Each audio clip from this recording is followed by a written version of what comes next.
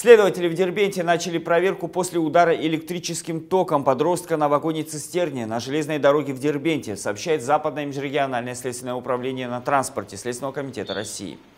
По предварительным данным, 14 сентября 17-летний студент железнодорожного колледжа забрался на один из вагонов грузового поезда, где получил удар электрическим током. Пострадавшего доставили в больницу, где ему оказывается необходимая помощь. Следователь Махачкалинского следственного отдела на транспорте осмотрел место происшествия, подвижной состав, опросил сотрудников железнодорожной станции, организовал комплекс необходимых проверочных мероприятий, чтобы установить все обстоятельства и причины случившегося.